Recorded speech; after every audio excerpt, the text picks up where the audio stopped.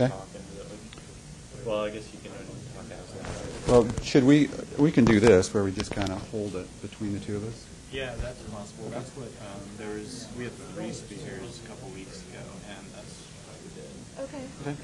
I'm gonna go grab my cup of coffee, Okay. because God knows you need more coffee Dave.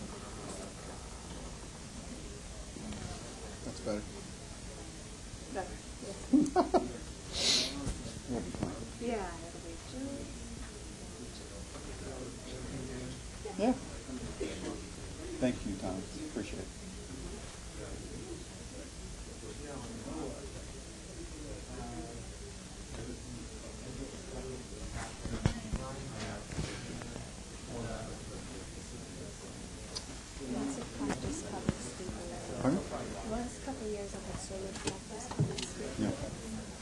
Yeah.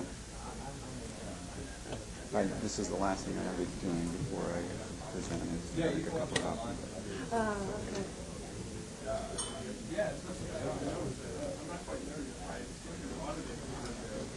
Oh, look, this one's being water That's perfect. Thank you. That was beautiful.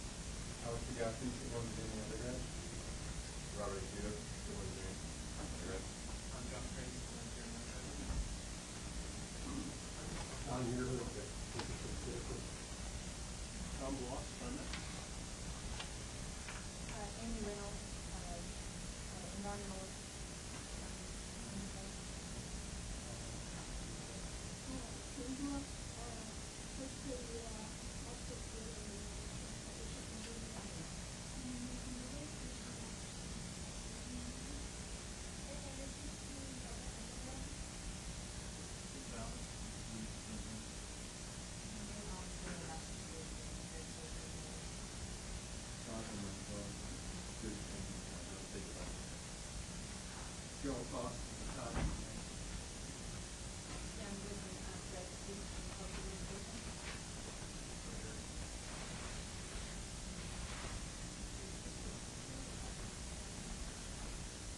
Help, help, right.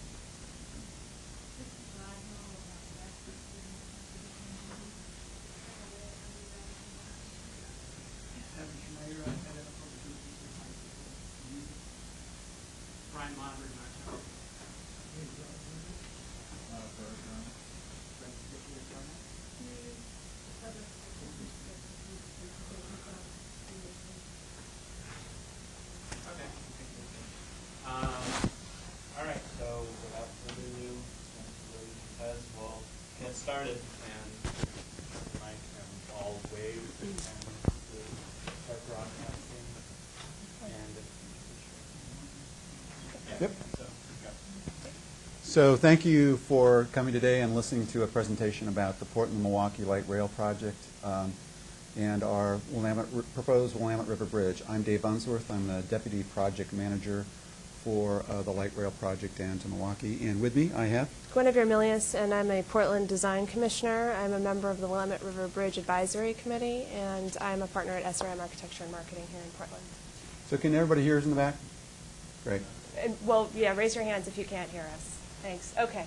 We'll speak Okay. up. Thanks. So when you leave here today, hopefully we'll have uh, informed you about three different things. The, what is the Portland-Milwaukie Light Rail Project, plans for a new uh, Willamette River Bridge, and part of the public process that we're going through in making a choice of what the bridge ought to look like in this location.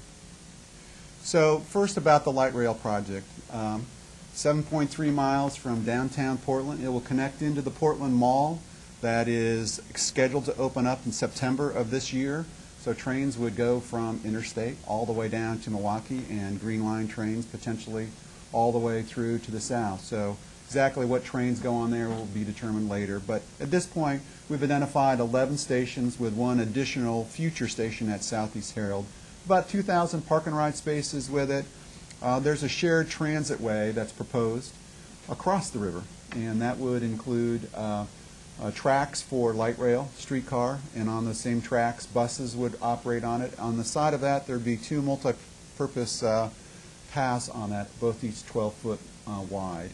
And uh, we connect to a series of trails in a number of different locations, Springwater Trail, Trolley Trail, and the Greenway Trail. About 24, 27,000 transit riders are expected to ride it per day in the year 2030, uh, 80 8.2 million per year, and we would create about 9,000 FTE or uh, full-time equivalent jobs in, uh, by the construction of it. You can see the uh, personal income generated, and there'd be substantial travel time savings from Milwaukie to South Waterfront, to Portland State, and to Pioneer Square as a result of the investment and it would increase the mode split by 24% for transit trips coming to downtown Portland. Um, and as you well know, on the existing alignment, the existing light rail system, we've seen a significant amount of investment near stations and housing, and our ridership is uh, about 110 per day um, currently. So why light rail? Why this area? In the next 20 years, there's expected to be about a million new people coming to the Clark County, uh, four, four county area through here. Where are we going to put them? How are they going to get from A to B in ways that make sense? Are we going to build a boatload of new roads? Are we going to try and do it with transit? The region has picked a choice of doing more with transit. This kind of fits in with it. The south quarter is a quickly growing quarter, so those are kind of the, some of the purpose and need of the project. This is a picture of what could happen in the south waterfront. It's not what you see today, what we're planning for what you would see in 2030. And really, it's the question of OHSU. They're investing a lot of money in a facility on the old Schnitzer site. So trying to tie all these things together with light rail and streetcar. Um, we've been talking with a lot of different people. Portland State growing its fall enrollment. OMSI's growing, OHSU growing, trying to tie all of these together. So with light rail, there would be basically a two-minute ride from Portland State down to the OHSU campus, a four-minute ride over to OMSI, a direct connection from OMSI to OHSU, which are, are, are partnering in a lot of different things. So there's some synergy with light rail being in the middle of that along with streetcar, getting people out of their cars, if you will. Uh, we just finished a draft environmental impact statement last year, and in July we picked a locally preferred alternative, which included a lot of different options of where was this bridge going to go, lots of public involvement, and this is the selected alignment. What really does, oops, it really ties into where the tram is down here and tries to tie into where we see a lot of growth happening up here, and also the campus here at Schnitzer's. So, let's see, do I have enough leash here? Can you hear me in the back?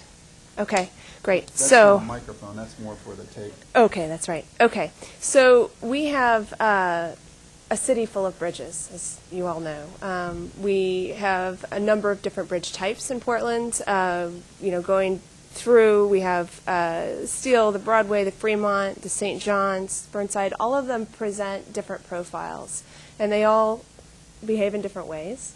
Um, all of them knit together to sort of form a picture uh, as you're moving down the river, through the city, on either the east or west side. And um, everyone has their favorite. Uh, St. John's, of course, is one of uh, is sort of the iconic bridge of Portland.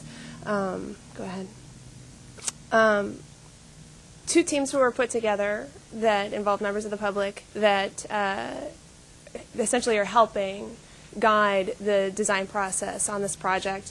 I sit on the Willamette River Bridge, uh, Willamette River Bridge Advisory Committee. Um, there's also a working group of technical staff and consultants that feed information into that team, and so they have been meeting with us uh, to present their findings as we move through this process. Um, so you see here the flow chart of, of uh, groups that are working on this project. The Willamette River Bridge Advisory Committee that I'm on. There's also a citizen advisory committee that's working on the entire light rail alignment. I think it's useful to note that there are a lot of sticky and political and um, questions that, if left to staff, we may get it wrong. So we ask uh, smart people, like Gwen and others, to provide advice to us on looking at design issues. For our view, the more eyes that can look at design, the more people who can prod us to say, hey, have you thought about that? Have you looked at that? I think we end up with a better process. So Metro, with the help of a lot of citizens, uh, we form these advisory groups to give us advice on things that we may not be thinking about, or a flavor of the public, or a different set of eyes that look from a different perspective on these projects. And I think it really, any process, any public process, really is better as a result of uh, these uh, advisory committees. Right. So members of the advisory committee include uh, representatives from the construction industry, from architecture firms. Thomas Hacker is a well-known architect here in Portland, is on the committee. This building was actually one. Yes, this is one of his buildings. Um, uh, Portland Department of Transportation, an important uh, player in this project, is, is represented by Sue Keil, who's the head of that department. Uh, Pat Lacrosse from OMSI. Uh, myself, um, I'm a business owner in the uh, East Side Industrial Area, and as a representative of the Design Commission, I, um, I'm wearing that hat on that committee as well. Um, Karl Rohde from the Transportation Alliance has been a, a really valuable advocate for bike riders and also for pedestrians. And uh, those are the people that are really going to see the bridge up close and every day and, and, and get out and touch and feel the bridge. So it's important to have him. Dave Soderstrom is a, is a retired architect here in Portland, but he also represents the Portland Opera, who has an interest in how the landing happens on the east side. Uh, we have industry represented by Ross Island Sand and Gravel, obviously a heavy river user, um, Oregon Health Science, um, and then other developers and landscape architects have been involved and have not just been on this committee, but we've also had a sizable representation of the public who come and follow the meetings. And of course, the committee is chaired by Mayor Katz. It's uh, have to mention that she's a she's been a wonderful leader of the group, and it's been facilitated by the former director of planning here in Portland, David Knowles. He is uh, he's now. Uh, He's a consultant with David Evans. David Evans and Associates, right. So, anyway, we've sat through uh, a half a dozen meetings so far, this committee. Uh, and again, those meetings have been backed up by day-long meetings with the technical staff who've gone through and done a bunch of work on budget and design, uh, different iterations of the designs, and then they bring their findings to us, and we have a two-hour meeting on these dates. And um, any information that, that you'd like to find out about what we've been doing and what we've been looking at is available online. Uh, the the uh, findings of these the committee and then also our meeting agendas and what have you are there. So I welcome you to go take a look. So the real question for the group was, uh, what is the right bridge type? We selected the, what we thought is the right alignment. So what's the right bridge type for this location that really embodies Portland's aesthetic and functional, and can we afford it? So what's the right bridge for that area? What is the right bridge for the site and the environment that we're looking at, the river itself in that area? What's the right bridge given the budget for this project? So this is not just we're building a bridge. We're trying to get this project built all the way down to Southeast Park Avenue in south of Milwaukie. And why are we trying to do that? Well, we're trying to get cars off the road, we're trying to reduce vehicle miles traveled. Getting as far south as possible makes some sense. We set a budget for the bridge that we thought made sense, and that was a direction to the RBAC, saying this is where we think we ought to be spending for a bridge. What bridge types can we afford within that number? The successful bridge type needs to balance all three of those. It's not just what's the cheapest bridge, it's not what's just the, the best looking bridge. It's what's functional, what's the right aesthetic, and what's the right cost. So we hired Uh, TriMet hired Rosales and Partners, who is a bridge architect, um, and uh, they have a uh, basically a joint responsibility with HNTB, correct? Right. Who is the engineer? Um, Rosales has been a uh, really interesting design professional group on this on this project. Um, Miguel Rosales brings all sorts of experience with uh, both um, auto-oriented bridges. He's also done a really iconic pedestrian bridge in South Carolina. Um, he he brings a really great aesthetic um, approach to bridge design in a field of design where there isn't really a lot of fat, if you will. Uh, bridges generally don't have any parts on them that don't serve some sort of function. In general, you can tack things onto them later and add public art and what have you, but as a rule, they are very lean structures, um, and he's been able to deliver some really beautiful bridges that completely serve their purpose. So he's, he's been a great partner on this project. And he's actually been teamed with uh, uh, architect, uh, not an architect, but a structural uh, engineer firm from Germany. So this team in its own, Rosales and Partners, both have a local presence and has an engineering standpoint. But mostly the focus of his was from an aesthetic. Right. And HNTB is bringing uh, more of the hard-nosed structural engineering to this project and is working with Rosales to um, uh, make sure that the, the bridge types that they're looking at are, uh, you know, structurally sound and also, you know, we're going to work for us over the long haul. Both of these teams were primes, and so in such, we hope that we have both the left and the right sides of the brain connected here. And it's actually, from my two cents, it's been an interesting conversation having two different perspectives coming to this citizen committee and providing advice to them. Um, So this is a reductive process. In the world, you can have thousands of bridges. You can have wooden bridges, you can have fiberglass bridges, but what you're really trying to do is get down to a very promising few alternatives. What are the right types of bridge for the right location? So we really essentially looked at a number of screens in greater and greater detail and more criteria as we move forward. We looked at trusses, arches, cable-supported, movable spans. We looked at a series of different bridges, and we started with a set of criteria and went down from that. But first off, there were a series of design uh, parameters and characteristics that we needed to set for this. This is a 1,720-foot span that we're going to cross the Willamette River in this area. It's a navigable waterway. Being a navigable waterway, we have to understand both the vertical and the horizontal clearances related to um, a bridge. Because this is Portland, and not because we're just TriMet, but we want to put bike and ped on that bridge.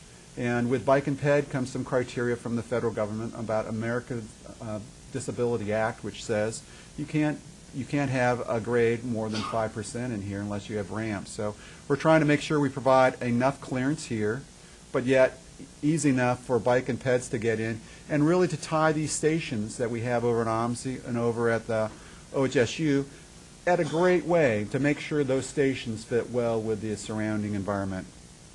We met and we spent a lot of time with the U.S. Coast Guard. We actually went out on a tour on a barge. We did a simulation of showing what a fully loaded barge would look like uh, in a, a fast-moving water, and would that did that require us to widen the clearance that we did? And in through those conversations, we actually did. We went from 500 feet to 600 as a minimum horizontal clearance in the river. And that actually, the experience of going through and figuring out where they need to get a barge through and how wide that space needs to be was an interesting one for you all, right? I mean, there's, it's very much threading a needle getting a barge through the river now.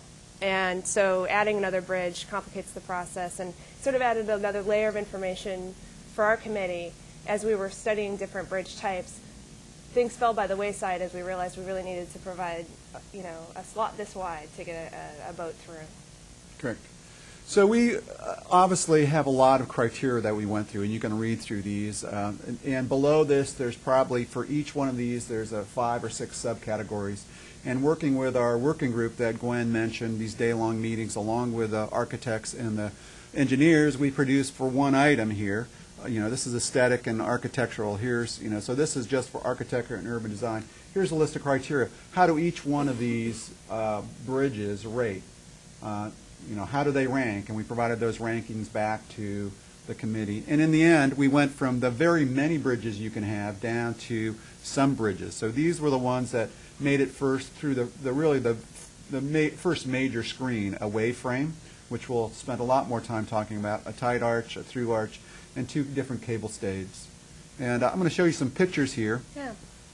So we looked at tight arch bridges. Uh, there's a number of them around. Uh, Sauvie Island and um, uh, let's see, the Fremont Bridge also represent this, this aesthetic um, through arch and tight arch. So some with the arch coming through down into a pier, and others with the arch dying into the bridge. Um, some comparisons of how they looked on the river. See the uh, sorry wave frame, the tight arch, and the cable stays. Um, looking from the west side from OHSU again from the greenway. So we really th- thought about how things were going to look from the greenway, and we're trying to think about how things look from a pedestrian or bicyclist perspective as they're passing under and by the bridge. From the opposite side of the river. We, want, we wanted to make sure that any bridge design that we created provided opportunities to get out and look at the river, to stop and to rest and to appreciate the, the beauty of the city. And so uh, the bridge architect very kindly provided us with some, some ideas about how that might look. Although this is not finished, this is not set in stone. And then from on the river itself. So kind of on the river, on the bridge, from both sides. How do you view this bridge?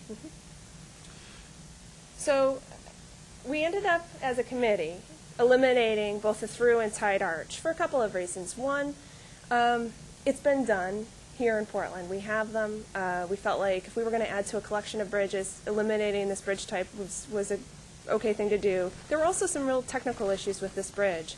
The placement of the piers um, ended up putting putting construction work in uh, very dirty areas of the river, which was going to create environmental problems for uh, the construction crews. Um, there were other issues. Uh, you know, the the width was not as great as it could be in terms of getting boats through. There were issues with, um, you know, it wasn't cheaper. So it sort of became a, a type that we felt like we could safely eliminate. Our our goal was to get down to about two bridge types, basically, and, and that made it relatively easy. So we ended up basically with three. Um, wave frame, a two-pier cable-stayed bridge, and a four-pier cable-stayed bridge. All of these bridges put two piers in the water. One of them puts extra piers on land. There are two of them. Two of them do, right. that's true, that's right. So we're going to go through and talk about, and I've got more slides than I probably should have here, and Thomas is right again. Uh, One of the things that we got when we came back and presented to the committee is we identified that the wave frame had high risk as we talked to HNTB and we looked at it from, uh, from a owner's perspective, if you will. And so I think one of the questions that came back from the committee is, gee, we kind of like that wave frame. Can you put more detail, more cost, and understand the risk in greater detail? So uh, we did. We went through, and when we were down to three bridge types, we really went through a structural analysis, understanding how each one performed under seismic standpoint. We really tried to define how you'd actually construct this bridge. Uh, created computer models. We analyzed it for different loads.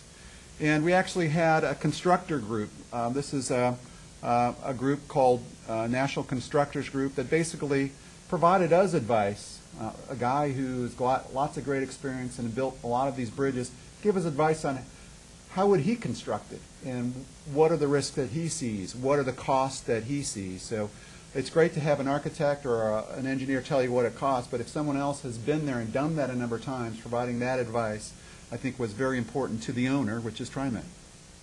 So we focused on risk.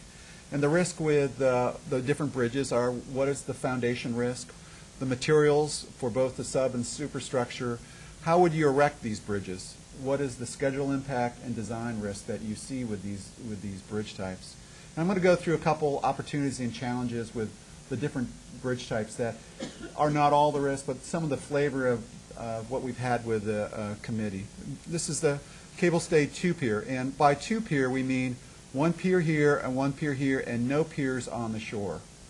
And so under this one, it provides more open area underneath the greenway here as a result of not having a pier here. That's an advantage. From an opportunity from a life cycle cost, because less of this is of steel, concrete doesn't need to be painted, doesn't need to be treated. It has a lower life cycle cost. So we're not just looking at the initial cost, we're looking at how much is it going to cost throughout the whole life of the project. The good, good news here is this more than exceeds our navigational horizontal clearance. Oh, and just real quickly, on these slides, uh, steel is represented in white, Right. and concrete is represented in gray. which helps you understand life cycle cost. This is the largest environmental, largest horizontal clearance, but it also puts piers closer to shallow water. We're dealing with NOAA uh, fisheries and issues with shallow water habitat. What we're hearing is we need to avoid shallow water habitat, so piers in deeper water are better. Piers in deeper water start mixing it up with the navigational things. So they're, they're pluses and minuses, and hopefully we'll find a sweet spot for these piers. Uh, It has the lowest vertical clearance, but it still exceeds the 75-foot clearance that matches the Sellwood Bridge, which is two miles upstream. Uh, It has some technical issues about where these cable stays come down and where our catenary comes down. I think those are things that we can um, uh, successfully manage. And then the four pier, the difference between these are, it has two piers in the river and it has a pier on the bank. So again, lower life cycle cost because more of it is concrete than steel. Lower risk um, uh, because of the design of it, I think both the cable stays. And again, provides adequate horizontal clearance. This one, because of where the stays are, may allow a little bit more flexibility of where you put bikes and uh, in relationship to the train itself. Its landside pier is closest to the greenway, so if you want, uh, you know, there's a pier here and there's a abutment 100 feet back here, so it's how that greenway looks on both sides has been important to some different folks. And then it is the widest over the greenway, 66 feet versus 69 feet because of the way the cable stays come down on it. Um, One of the issues that we've heard is height. height. Um, so knitting knitting the bridge into the space that it's falling into has been an important issue. Um, height certainly um, is a good thing or a bad thing depending on who you're talking to. Um, there was some discussion on the committee that the uh, the relative height of the bridges, the cable bridges, would outweigh some of the buildings in South Waterfront, even though they're the same size when you're looking at them from a perspective of, say, the Central East Side or downtown, that the bridge might seem appear much taller than it really is in relation to some of the buildings. As buildings get closer to the bridges, of course, that will change. Um, also, there was some conversation about how the bridges knit in with other bridges in their vicinity. There's plenty of um, negative commentary on the Marquam Bridge. People generally don't like how that thing looks, and um, and yet um, the bridges that we're proposing interact with it with it in different ways, and in some ways, some conversation went around about the wave frame feeling like it fit that bridge. Its its its relationship between the Ross Island and the Marquam was a little bit tidier. Um, I think the bridge architect says that the the cable stayed bridges present perhaps a more aggressive profile and, and, and they kind of poke up over the Marquam Bridge, and that has its own value as well. But there's a lot of debate among those of us in the design community that are on this committee about which, which design value is better. So one of the things that we did, we tried to put the height of the towers in perspective to where the tram tower is, so you can see the tram given the elevation. And these are the, these are the allowed, um, with the floor area ratio, height limits for, for buildings that may go in the south waterfront, and they step back as you move forward and see the elevation of about 30 feet and how high they get. So this is the wave frame from the elevation above the, above the water, and you see the cable stayed two, four and two. Cable stayed four, because it has more piers, you're actually able to shrink some of the towers, and so that's maybe considered one of the benefits of it. Another thing is to compare it to what's out there today. So this is the steel bridge. The steel bridge um, has a height of its tower uh, of 198 feet, 187, and 210. So it kind of puts it in perspective to that, and then the height above the deck kind of similarly. So we're trying to give a flavor of, gee, it's a big tower, what's it look like? And it may, it, um, the very, very difference between the through trusses on the steel bridge and what uh, a cable stayed bridge may look like. But we're, again, trying to put into perspective, answer some questions, or at least give a perspective uh, to the, to the RBAC committee. Waveframe has lots of opportunities and challenges. Uh, It embraces Portland's boldness of a, something innovative. Sure. It's um, it's it's a bridge like no other that's been built in the United States. Um, it's a different type of engineering. Um, it is essentially there's a prototype that exists in Germany, but excuse me, it's a closed bridge. This bridge has an open lattice work so that we can look out and, and appreciate the uh, the landscape around us. Um, from a design perspective, some of the comments that that that the uh, um, committee members appreciated were the the way the waveframe sort of matches the undulating uh, landscape in Portland. It sort of fits the hilly perspective that you get, especially here from the west side. Um, again, the comment about it knitting between the Marquam and the Ross Island Bridge. I don't know if we have a have a representation of that, but there were slides that the architect showed that for some of us sort of had this you had this moment where you're like oh that fits you know and then it feels like the right thing and so uh, those of us that have been really excited about the waveframe um, you know have, have had the sense that this this might be the right bridge for the right place um, another comment that has come out too is that um, many of the users of this bridge are going to be experiencing it slowly and on foot or on their bike, and that the scale might be kind of more humane and appropriate for that use. So that's also been part of our conversation. And and I, at least my, I wasn't at the design commission, but I think there has been a split on the, the RBAC. Some saying we like this, and some others saying we like that. And I, I think that's a great discussion to have. So what this also does, its piers are closer to uh, deeper water. That's a benefit for uh, shallow water habitat, getting those away from there. Uh, it's further from the contaminated material, both on the Zidell side and over here on the PG, the old PGE side. But it also has the narrowest clearance, which is acceptable, though. And I think there's an on-land pier issue here too, Yeah, right? and we'll- yeah, we'll get into that. We'll get into this. This is the one wave frame that was built and has built in a smaller span, much smaller span than 600 feet. And as you can see in here, these, uh, these ribs, and you've got metal in between it. So it's actually how this bridge performs, and I'm not an engineer, performs very different in the way it does. Uh, The architect believed, and I think rightfully so, this bridge wanted to be opened up. So the idea of taking this idea and getting rid of the metal between the webs was the idea of how you'd progress this. But it's a prototype, uh, and that is a challenge for us. Uh, There hasn't been another one built on this size and in this manner, and uh, it certainly will increase, we believe, the design and construction and engineering costs associated with it. So we went through and tried to understand those risks uh, from uh, reduced competition from steel fabrication. We're actually talking about four-inch thick uh, steel. Uh, This is a high-performance steel available only in one location in the United States. And the way you'd have to do it and some of the field welding that would have to go into it is highly tech, highly technical and may have some schedule risk for us. And the price volatility for steel, although it's been low recently, has been astronomical in the last couple years. Don't know what the stimulus package may do to that. Concrete has a more understandable progression of cost for units.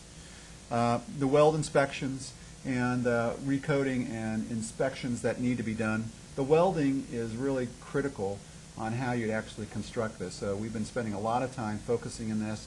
We've actually gone out to Oregon Steel and Oregon Iron Works to talk about how you'd actually construct this, to understand some of those construction risks. One of the other environmental challenges is this pier really has to be here given the structural, the structural integrity of this bridge. This is where we think some of the highest contamination is on an area that used to be industrial where ships were torn apart. And so that's, you know, it's one of the issues that we have to deal with. So in the end, we think that there's still a, a moderate to higher risk associated with the wave frame versus the cable stayed. Why is that? Well, cable stay has been done in a number of different locations. It's a more simple bridge, if you will. Uh, the engineering issues, the fabrication issues, and we think it has a concern on schedule.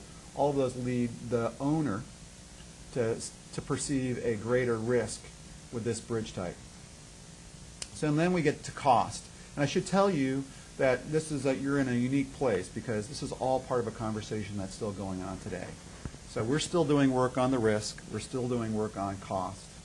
So, but as an owner and as a project, we want to get down as far south as we can, and cost is a big driver, as much of aesthetic and fitting the right bridge for the right location. So during this process, we actually revised how the design was. So we actually worked with the architect um, and different engineers to poke at some of the issues and some of the reasons the costs were higher before, and we've actually revised some of the design for the wave frame. We've also looked at the methodology and, and came up with we, what we think are maybe some smarter ways that you actually go through and construct the wave frame. We revised quantities uh, for each one of these. So this is a base unit built up cost estimate for each one of these done by people who actually construct bridges.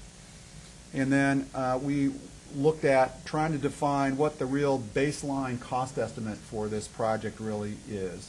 And um, so in the end, in our, in our final review in process, that means that we're still working on this, this is what we're finding, that the budget we set for this bridge type selection, for the bridge that goes across here that works for the overall project budget for the Milwaukie, Portland Milwaukie light rail line, the four, the four-pier cable stayed budget appears to be on budget. Again, these are all being revised. The uh, two-pier cable stayed is more expensive, and it is seven to eleven million dollars over budget, depending on how you phrase that. The, the wave frame is thirty-two to thirty-seven million dollars over budget, and so that's one of the inputs that we have to bring through it. So if we're going to pick a bridge, we have to find out where that other money needs to come from, and it needs to be balanced.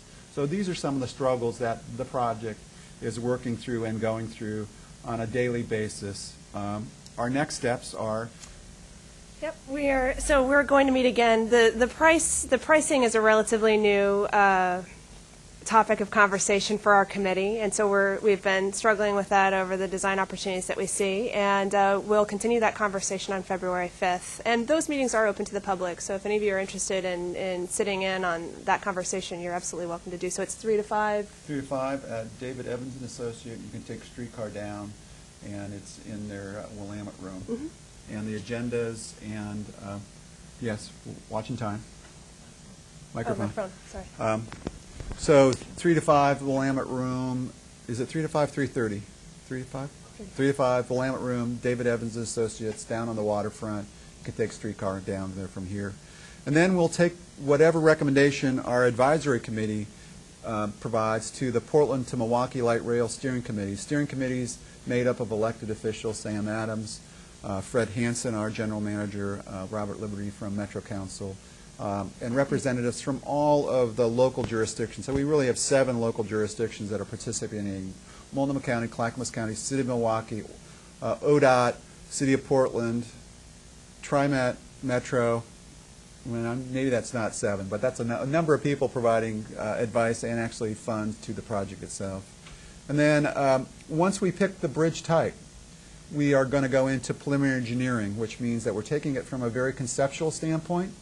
We're taking it up to 30% level of design. So uh, we're at, we're actually at the very early stage of a type, size, and location study, if you will. But uh, we're ready to go. We're trying to pick the right type to move into engineering and spending a lot of more money on it. So I want to give you a couple more slides here, and I'll, we'll open it up for uh, comments. Kind of where we are on the overall uh, project schedule. We published a draft environmental impact statement in May of last year. We selected the alignments that we wanted and how far south of it we're going. We submitted an application to our federal partners for funding, and actually, it's not so much for funding, it's for the permission to go into preliminary engineering. Um, That was a nine-foot stack of documents, quite a lot of fun, let me tell you.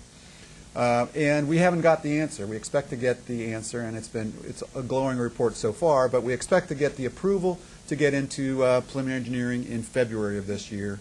And then this February is basically, uh, uh, we'll spend a year, year and a half trying to get our designs up to 30% to reduce risk and get the cost right.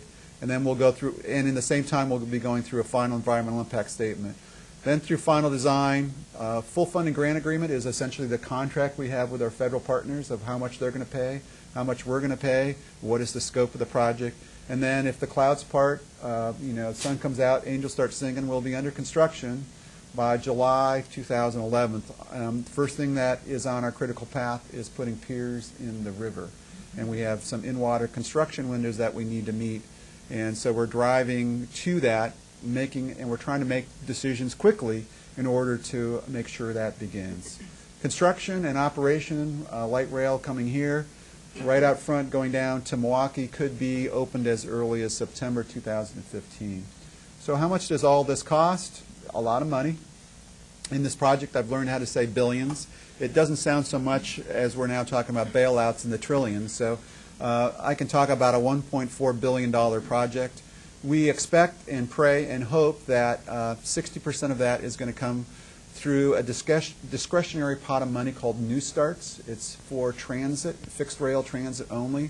Portland and the team it has with Metro and the city of Portland have been extremely successful in competing against the Poughkeepsies and the Orlandos and the Atlantas around the nation. It's because we do a lot of land use well here. And I think because we have a regional MPO that really works and we make smart decisions, and those decisions are based in policy and with land use. So we expect to compete well for those dollars.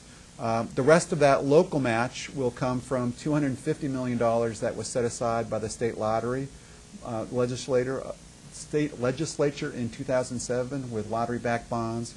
We've got 72 million of flexible dollars from Metro in Milwaukie, and we'll be looking under every stone and every, um, into everybody's wallet to figure out how we finalize the project, local financing of this project.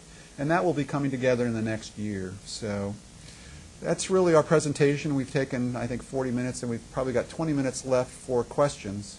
So you got to press the, yeah, I think you have to press the microphone on the table for questions. Um, First of all, yay, cable stay. All right. The other question I have uh, relates to the kind of, if you think about the Sellwood Bridge.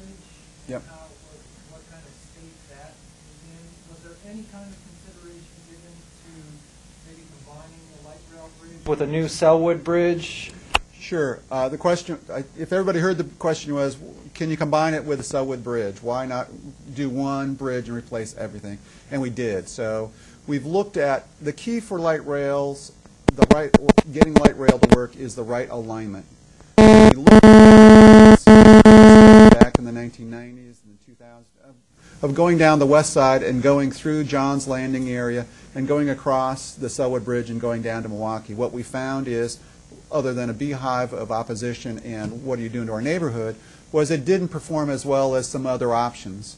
And so, in the, also in the 1990s, we looked at a number of different options of getting across the river. We looked at this, the Hawthorne Bridge three times. Why not use the Hawthorne Bridge? Why not look at, can you put something underneath the Marquam Bridge? Can you put something on the Ross Island Bridge? And in the end, through all those analyses, we came back to our steering committee, and the steering committee said, for all of these reasons, given the public involvement we've had, we think we need to do a, a new bridge. And then through the environmental impact statement, not only do we need to do a new bridge, this is, we think, the right alignment for it. Great question. It's been asked a number of different times. It continues to come up. Another question that has been raised is, why not put autos on that bridge? Uh, you got bikes, you got peds, you got streetcar, you got buses. Gee, you got everything else on there. Why not autos? And and part of it is where are you trying to connect to? And some of the concerns about the south waterfront areas is how congested that area is, bringing more traffic into that. Actually, and the size of the facility that needs to be, given all the ramps and all the things and it, will overwhelm that district. And you'd have to double the size, at least double the size bridge. So the answer to that one was also no. Is there also an issue with shadow on the river? Um, A wider bridge Absolutely. would present more environmental problems in terms of fish. Absolutely. Uh, You know, the fish don't like shadow. Uh, So we're, or the fish that we're trying to protect don't like the shadow. Right. So we're, we're um, having to constrain the width of the bridge for that reason as well. Great, thanks. Yes, sir. Um, I see that you're planning on moving three bus lines onto the bridge. Is there any uh, plan to increase bus service to that area or add bus lines to the new stations? Uh, So it's important to know that we are adding buses to this bridge. And so what we find is that when we look at the bridge's um, the buses coming across, it's the 9, the 17, and I'm going to forget the other bridge, 19. Those bridge, those buses go across the Ross Island Bridge, and in congested times, they're actually very slow, working their way through the spaghetti in the south waterfront area.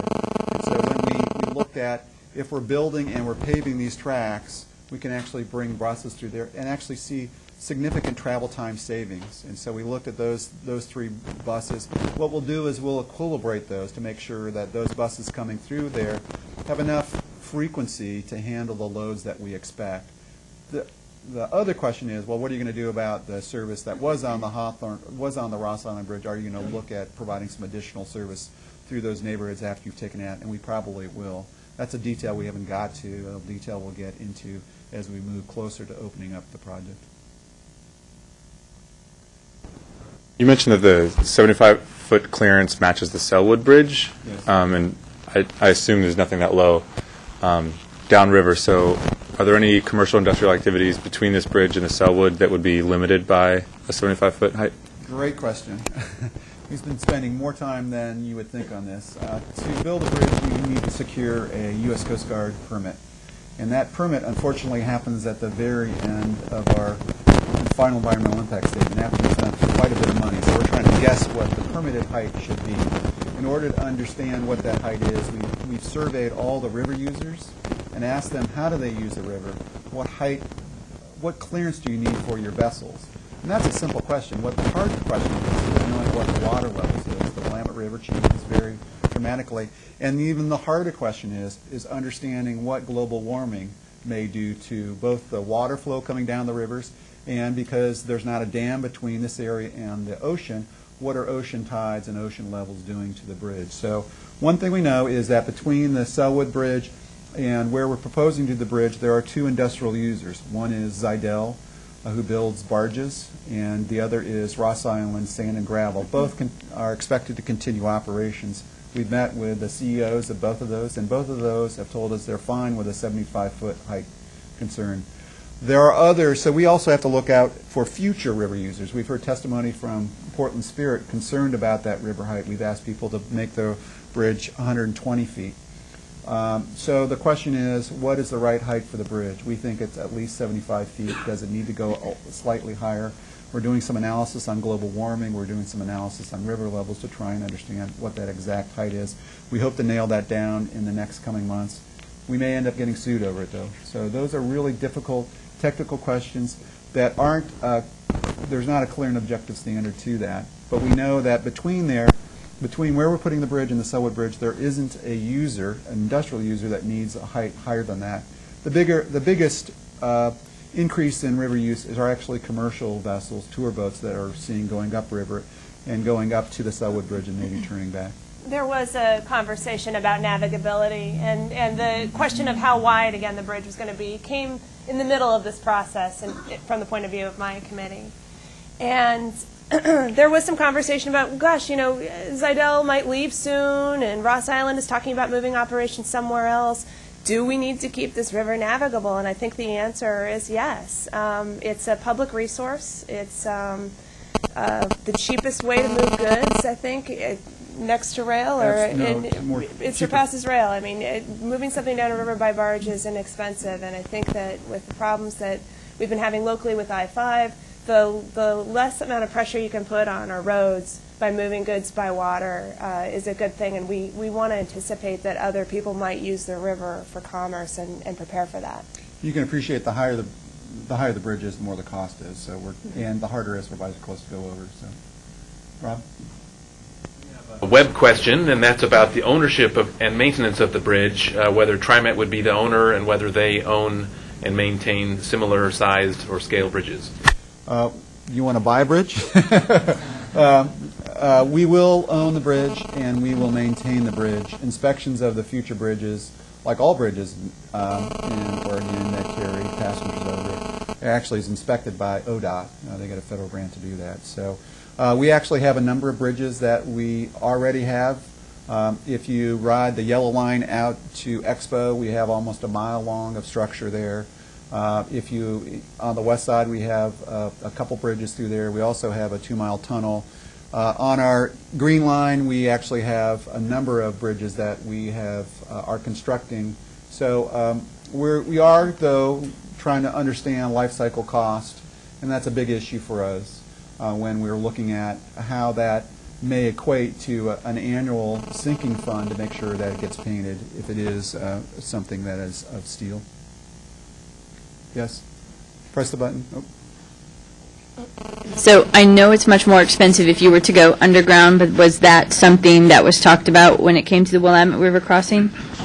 Uh, That was something we looked at at early stages. As an order of thumb, a very, very dangerous rule of thumb, but if it cost A to go uh, at grade, you double that to go above grade, and you probably triple or quadruple that to go below. So, and it's really, the question is, where are the portals and how do those portals work?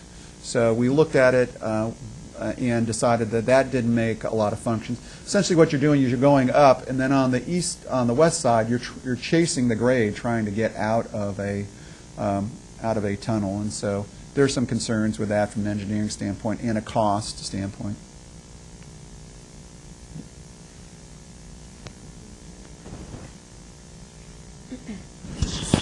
Um, have there been any public surveys or anything of that nature to determine what the pedestrian and bicycle volume will be across the bridge? It seems like it would be fairly high considering the, Yeah, the Ross Island Bridge isn't too That is a great friendly. question.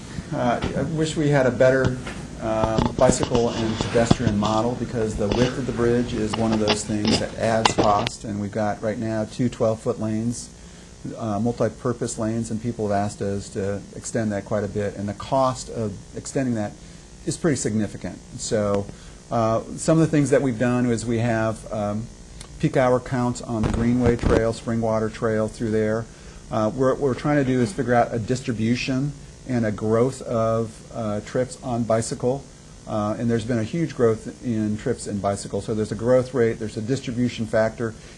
The harder parts have to do with what do you assume for the Hawthorne Bridge? Hawthorne Bridge is a lift span, it, it lifts, and therefore you don't have to go up at 4.75% and come back down. It's actually not an easy thing to go up that high, if you will. So we're in the process of trying to understand the exact, what we think is a good, good number for future bicycle and pedestrian. And then we're using some FHWA calculations of volume capacity ratio for multi-use paths. So that stuff is in progress. If you've got a better resource, let me know, so. And that's, that has been a topic of conversation. I'm a bicyclist as well as a motorist, and, you know, yeah. So those of us that have, that cross the Hawthorne Bridge on a regular basis, as I do, know that uh, when it opened, it felt like a very generous facility for bikes. And today, it feels a little crowded during rush hour. Um, and so our assumptions about how much room bikes and peds need to share space comfortably are, are evolving um, as this bridge is being worked on. So um, I think that when one of the things that we're looking at in terms of the design of the bridge is where do the um, ties or piers or you know where do things knit together so that one day you could expand the capacity a bit of the of the walkways possibly. Uh, you know we don't want Yeah. Get there until we get there, but but um, allowing building in some flexibility for for future use I think is is part of this conversation. For comparison, Hawthorne's 10-foot wide, this is 12-foot wide, and I think the Hawthorne Bridge, when I ride it, I'm always worried about the, kind of the cheese grater, the potato grater, that if you fall in next to the buses, you're done. This would have a, more of a, a- a separation, positive separation between transit vehicles and this, so we're in that discussion right now. Yes. So I just, I just wanted to ask, are the, is the pedestrian path and the bicycle path shared? multi-use shared path, Yeah, two okay. 12-foot lanes. And one of the issues is, if you have more pedestrians going up, if you're going up at 4.75%, bicyclists go at different speeds. So you've got the joyrider, uh, who's kind of, well, nice view, and you've got the, you've got the commuter going faster. And that's part of the issues with the Hawthorne Bridge. So, like, being a bicyclist, I take the west bank Esplanade and avoid the east bank. A lot of people are, there's a lot of pe- pedestrians, and people like to like, sightsee. Well, they're not always paying attention to where they're going, where they're walking, and it kind of conflicts, I think, with a lot of pedestrians. It's and kind of a nice problem to have in some ways, but. But, yeah.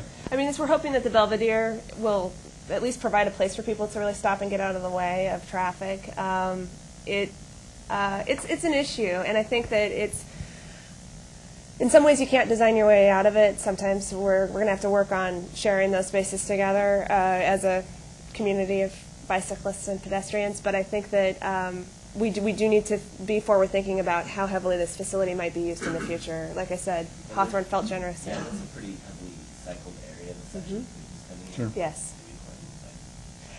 Yes.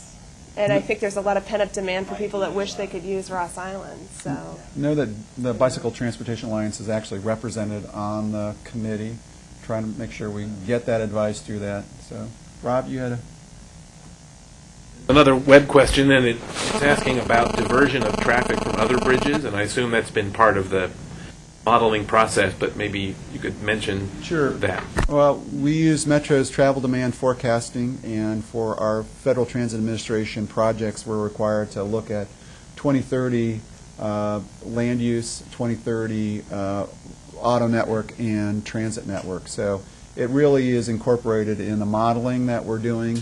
Um, Generally, the the bridges uh, are at capacity, uh, so removing some buses from um, the Ross Island Bridge actually helps moving some vehicles off of there. With the 27,000 riders per day, we're actually reducing some of the demand uh, in the corridor. Now, that not always is reflected on those bridges because there's some latent demand of people wanting to get across those bridges. So it's certainly taken into consideration through the travel demand forecasting modeling that's been done for the project. I think we have um, four more minutes, so Um, I was wondering, you talked about the height of the bridge with respect to some of the buildings that are on the south waterfront. Um, in general, do the developers of the south waterfront see this as an asset or a liability to, say, their condo projects and different development? I think overall it's it's considered an asset. Um, there are a lot of people that wish it was easier to get to the east side um, via foot or bicycle. Um, I um, actually am good friends with the woman who runs South Waterfront Community Relations, and she's also a bicyclist from the east side to get to her work, and she is excited about having a, a better facility to commute. Um, there's a lot of excitement in that neighborhood for better connection to other parts of the city. And I would give you, I think OHSU, much like Portland State, realizes investing a lot of money in parking spaces, and real estate isn't a wise investment of those dollars. And so they're very supportive of that. The amount of growth that is expected in the south waterfront, if you were not to have a 30 to 40 modes, 40% mode split, would just blow out the road network. So in order for OHSU to get its development to the level it wants, it needs transit. That being said, uh, it wants the right design. Similarly, for OMSI and that district through there, they want the right design because they're going to live with it for 100 years. Uh, the Portland Opera, which is right next to it, uh, very much their view will be changed by this bridge. So that's why they've been invited to the table. That's why they've been invited to provide advice to our steering committee on what do you think the right bridge type is, not us telling them what the right bridge type is. I think you could get probably if you were to survey each of the residents that live in South Waterfront, you'd probably get a different opinion. I mean, you you get a, you know, another spread on which bridge is right. Uh, uh, there's lots of different reasons why each of those bridges is attractive to people. So there's lots of opinions, but I think overall everyone's excited about having it there. streetcar loop be using this bridge as well when that is eventually open?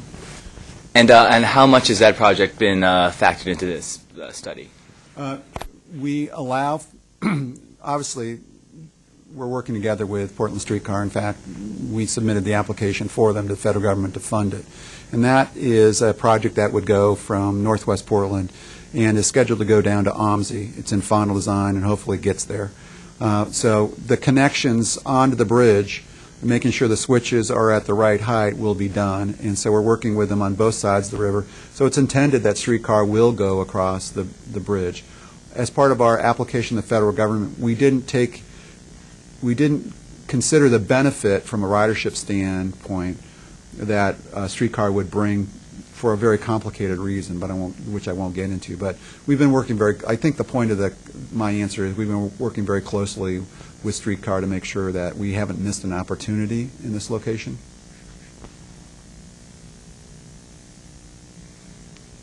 So we've talked you out. That's good.